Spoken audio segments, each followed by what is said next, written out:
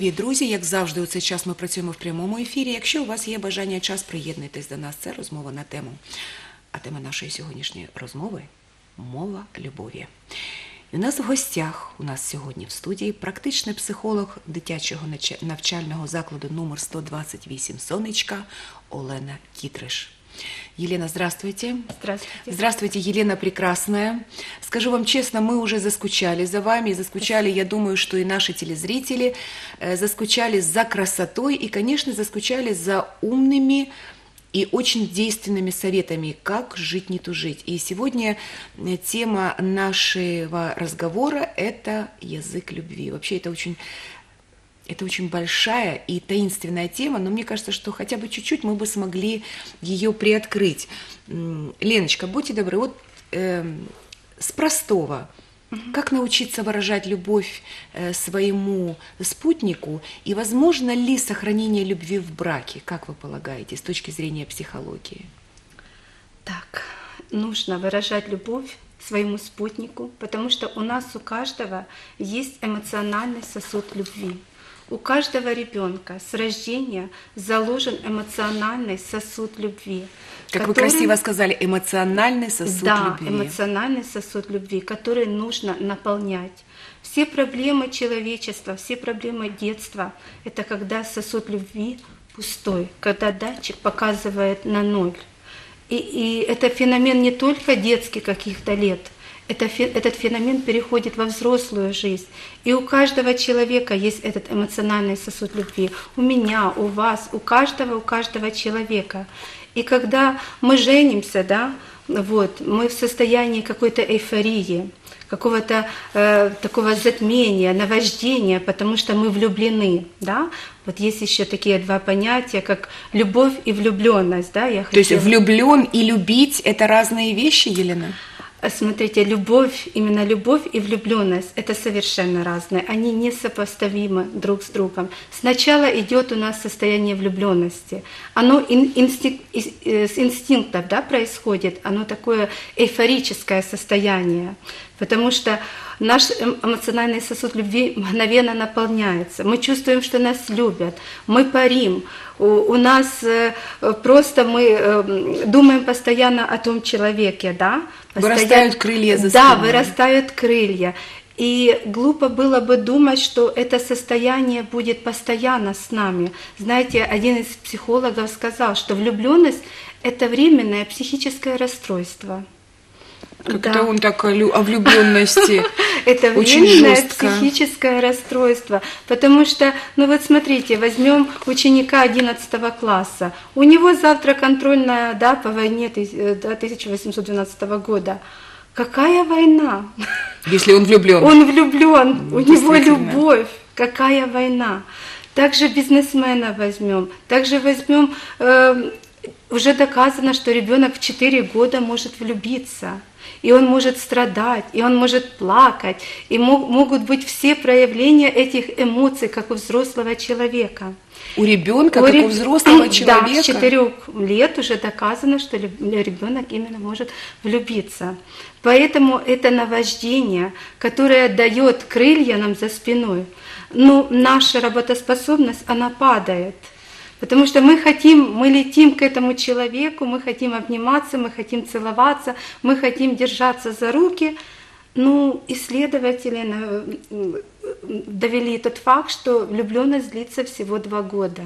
Это эйфорическое То есть это даже состояние. научно доказано? Научно доказано. Оно длится именно два года. Влюбленность нас швыряет на такую высокую эмоциональную да, высоту, а потом мы резко опускаемся в реальный мир, в мир настоящий. И если мы не выработали свой язык любви, будучи в лю- влюбленном состоянии, да, Будучи в этом сумасшеством не состоянии, любви, будучи а под влюб- кайфом. Да, да. Если мы не научились любить своего спутника, тогда наш сосуд эмоциональный начинает что? Опустевать. И датчик показывает на ноль. И почему браки в 2-3 года да, длятся, а потом что? Разводы. Потому что эйфория прошла, наваждение прошло, затмение прошло, реальность пришла в жизнь, да, они спустились на землю, увидели недостатки своего супруга, супруги, увидели, что тюбик зубной пасты открыт, увидели, что носки разбросаны, и многое уже начали открываться глаза. И что? Начинаются конфликты. Любовь. Что такое любовь? Да, Лена, тогда что такое любовь? Ну, мы выяснили, влюбленность да, это эйфория, это психическое затмение. Хорошо. Даже расстройство. расстройство. Да, вот ну, как видят, видим некоторые да. психологи говорят, любовь, она рациональная, она истинная, она волевая, она дисциплинированная. Если в состоянии влюбленности человек принимает свою, э, свой объект да, обожания уже идеальным, он не хочет, чтобы она совершенствовалась, он не хочет, чтобы она работала, он не хочет, чтобы она училась. И часто молодые пары, молодые девушки бросают работу, бросают учебу в этом состоянии эйфорическом, потому что думают, это будет, будет вечно так. Когда любовь, то наш муж, супруг, э, любимый парень, девушка, они э, хотят, чтобы мы становились лучше чтобы мы реализовали свой потенциал. При том, что тебе не надо работать, тебе не надо учиться, но хотят, чтобы были лучше. Хотя именно когда истинная любовь, угу. волевая любовь, рациональная любовь. Когда настоящая любовь. Настоящая, да? когда нам нужна настоящая любовь, не влюбленность, нам нужна настоящая любовь. И когда у нас уже случилась настоящая любовь. Влюбленность перешла именно в настоящую То есть влюбленность любовь. перешла в настоящую да. любовь. Она должна через два года либо перейти в настоящую любовь, либо отношения рушатся. И настоящая любовь, она э, уже помогает, люди помогают друг другу да, становиться лучше, становиться лучше. И вот э, мы подходим да, к основной теме, это язык. Язык любви. Леночка, действительно, основная тема нашей сегодняшней беседы, дорогие телезрители, это язык любви. Оказывается, для того, чтобы любить, нужно уметь говорить на языке любви. Да. И Елена сейчас нам поведает о всем. Будьте Очень добры, важно, Елена. да, мы вырастаем в семьях определенных и изучаем определенный язык. Язык э, любви также. И у каждого свой язык любви. И часто люди женятся, эти языки совпадают. Редко очень, очень редко совпадают. Редко совпадает? Редко совпадает. И вот первый язык любви, основной язык любви, это слова поддержки. Слова поддержки – нам жизненно необходима поддержка, жизненно необходима каждому Не сочувствие человеку. именно, а поддержка. Нет, а да? именно поддержка. Нам нужны комплименты. Знаете, Марк Твен сказал, я могу на одном комплименте прожить два месяца. Вы представляете, как важно, чтобы нас вдохновляла любовь, чтобы мы верили в себя, слова поддержки любимого человека. И как любой язык, он имеет что? Диалекты, наречия. И также язык любви, вот первые слова поддержки, он имеет диалекты. Также он включает в себя слова ободрения, ободрение, ободрять. Поддержка, ободрение. Ободрение. Телезрители, запоминайте, да. поддержка, ободрение. Ободрение, потому что у нас у каждого есть такие области, где мы боимся себя выразить, да, вот нам хочется, но мы не верим в себя. Да, я такой мы... суровый, я такой суровый. Да. Нет, я не знаю слов любви, я старый солдат. Мы боимся показаться какими-то смешными, либо какими-то неумными, не глупыми. У нас вообще у людей очень много комплексов. И есть целая теория, да, у Адлера, что человечеством что движет? Комплекс неполноценности. Это есть одна из теорий, да. И у человека очень много комплексов. И если супруг супруг или супруга начнут ободрять, говорит, ты сможешь, у тебя получится. Но именно ободрять, потому что... Э, не вот, грызть, да, Не Леночка? грызть, не давить, не давить. Вот муж говорит, вот я хочу, чтобы жена моя похудела, и я ее подбадриваю. А ну давай похудей. Вы понимаете, он таким образом что? Обижает ее. Это не слова ободрения, это э, уже как бы обида, вызывает обиду у жены. Он, она должна сама сказать, вот ты знаешь, я записалась в фитнес-клуб и хочу похудеть. А он должен сказать, ты знаешь, у тебя все получится, все получится. Вот тебе 170 гривен, иди, молодец, я верю в тебя. Вот это есть слова ободрения. Ну и не только слова, но и И действия. действия, и действия. Э, Добрые слова очень важны. Добрые слова говорить друг другу.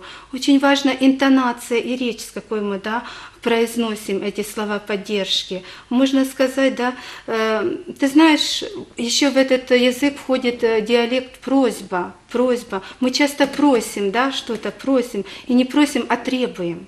Когда мы требуем у супруга или супруги, то что мы превращаемся в взрослого, а супруга или супруг в ребенка, потому что очень важна просьба, попросить. Когда мы просим, мы даем выбор, либо отказать, либо принять просьбу. А когда требования, ты, у тебя выхода уже нету, да?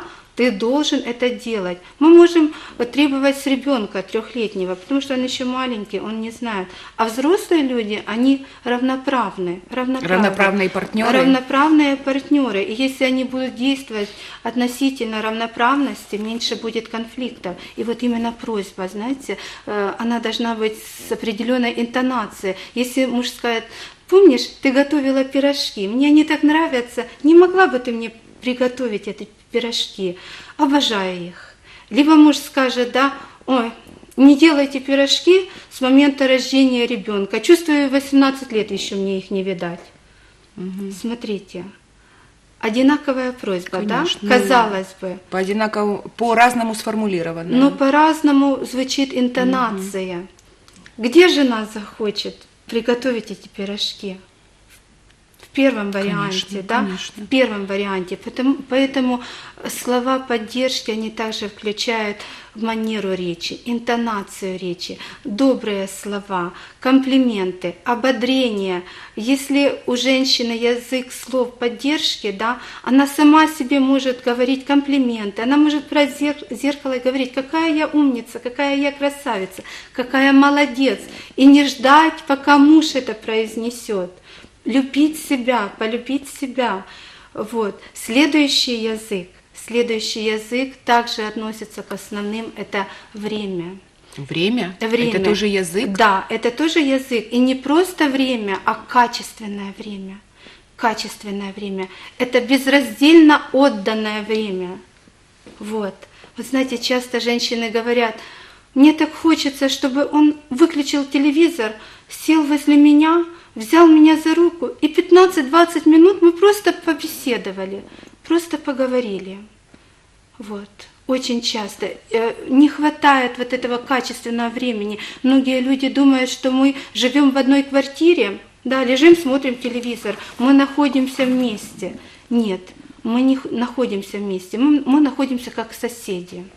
Вот как соседи. А качественное время, оно подразумевает именно вот это внимание, вот это симпатическое слушание, вот как мы с вами.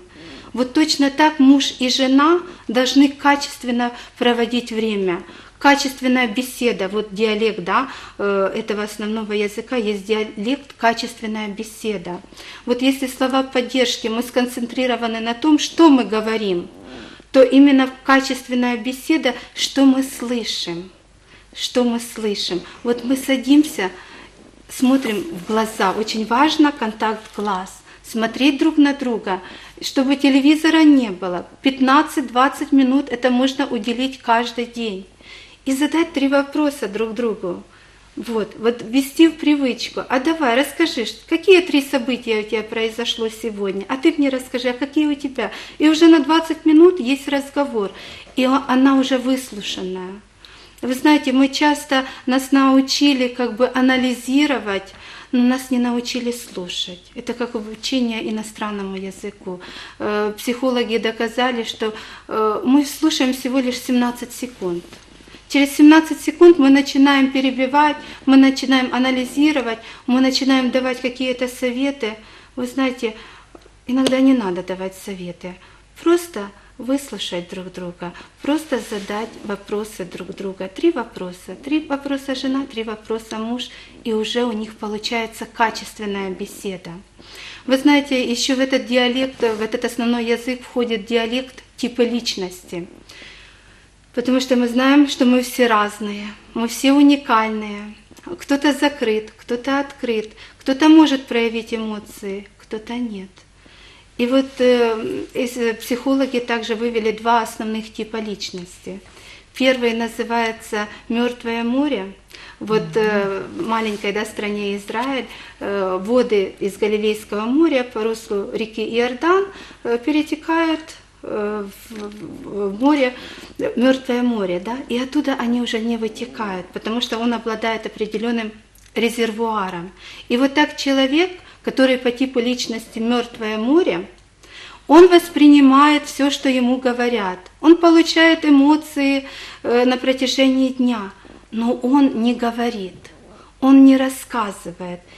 И жена приходит, говорит, я так хочу откровенности, я так хочу, чтобы он поговорил со мной. Но он молчит.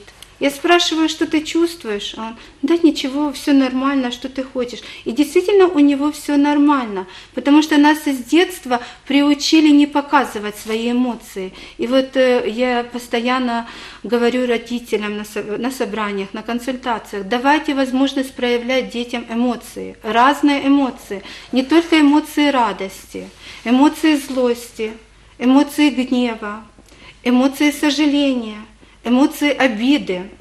И нас с детства не учат этих эмоций. Мы либо должны постоянно радоваться, смеяться, а когда мы какие-то злые, расстроенные, нас не принимают. Понимаете? И мы отдаляемся сами от себя. И вот именно мертвое море, оно воспринимает все, а ничего не отдает. И второй тип личности – журчащий ручей. Ручей – это люди эмоциональные, у них нет резервуара. Вся информация, которая входит в ворота ушей, в ворота глаз, она выходит из ворот рта. Эти люди не могут хранить секреты, они не mm. могут молчать, они не могут э, быть в одиночестве, они пришли домой, им надо включить телевизор, либо им надо позвонить по телефону, либо они поют песенки. У них нет этого резервуара. И вот часто Мертвое море женится на, на ручье. Ж... Да? На ручье. И тогда получается таки, такой симбиоз. Первые два года это чудесно. Потому что Мертвое море сидит, слушает, он самый лучший слушатель в мире, да? А журчащий ручей рассказывает, рассказывает. Думаю, Боже, как хорошо меня слушает. А ручей, а, а Мертвое море думает, Боже, как хорошо, не надо ничего говорить. Ну да, они дополняют вы, друг друга. Вы понимаете, сначала они дополняют друг друга, но проходит пять лет. И что говорит э, э, Ручей как-то Ручей по, говорит, поиздержался а что, нет, мы живем пять лет, а я о нем ничего не знаю. А Мертвое море говорит, ну что, он постоянно говорит, говорит, а я так ничего о себе и не рассказал. Вы понимаете, они привыкают, привыкают к этому, но их сосуды не наполняются, не наполняются. Поэтому может, зная, что есть такие типы личности, можно научить мертвое море разговаривать. Все-таки можно, вы Можно, полагаете? да. А ручью научиться больше молчать и дать слово своему супругу, да, если он мертвое море, как как правило, мертвое море у нас мужчины. У них больше резервуар, они больше эмоций в себе держат, а женщины больше жучащие такие, да, эмоциональные.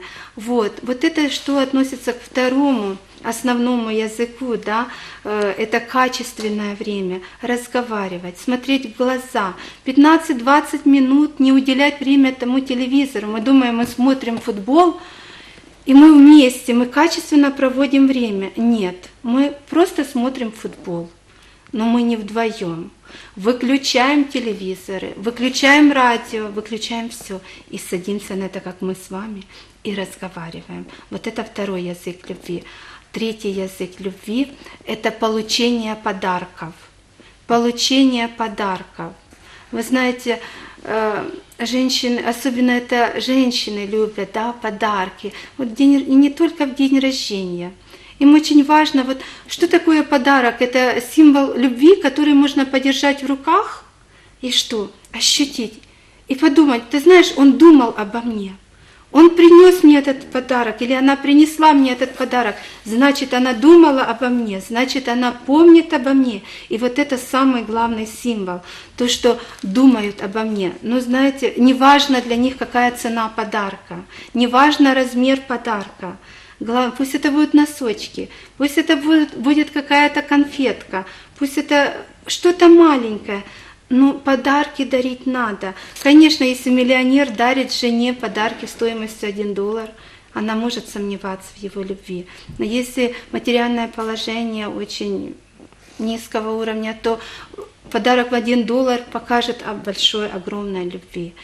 Можно дарить самого себя. У нас всех бывают кризисы семейные, умирают, авто, автокатастрофы. Все случается в жизни. И дарение себя – это тот неосязаемый подарок, когда ты поддерживаешь своего близкого человека, да, в трудную минуту ты его поддерживаешь. Вот это то, что относится к подаркам любви. Я думаю, здесь сложного ничего нет. Ничего. Леночка, а вот как вы полагаете, можно ли определить и найти свой собственный язык любви? Можно, можно. Вот давайте я еще есть два языка, расскажу быстренько о них. И три, э, четвертый язык любви – это акты служения акты служения.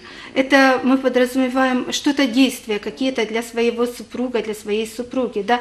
Помочь помыть пол, помочь накрыть стол, помочь помыть посуду. Сейчас стереотипы, уже, уже нет таких стереотипов, что мужская работа, женская работа. Нет, сейчас равноправие. И не должна жена прийти с работы и сразу приниматься, да, становиться во вторую смену и работать. А муж лежит, читает газету – они могут вместе, вместе приготовить, вместе помыть посуду, вместе накрыть на стол. И она уже будет довольна. Вы знаете, очень много женщин жалуются. Она говорит, прожила 20 лет, была ковриком для вытирания ног. Варила, стирала, все для него делала. Он привык к этому всему, принимает это как должное, а у нее боль, а у нее пустота. Не, до, не должен быть ни один человек, ни женщина, ни мужчина вытирание, ковриком для вытирания ног. Это не, неодушевленный предмет. Человек это живое, да? существо живое, у него есть мысли, у него есть эмоции, у него есть желания. Поэтому если язык любви, акты служения у мужа или у жены, значит помогать, делать вместе, все делать вместе. И последний язык любви – это физическое прикосновение. Физическое прикосновение для нас жизненно необходимо, чтобы нас касались, чтобы нас обнимали. Уже доказано психологами, что деток, которых берут на руки да, в младенчестве, они вырастают эмоционально здоровые.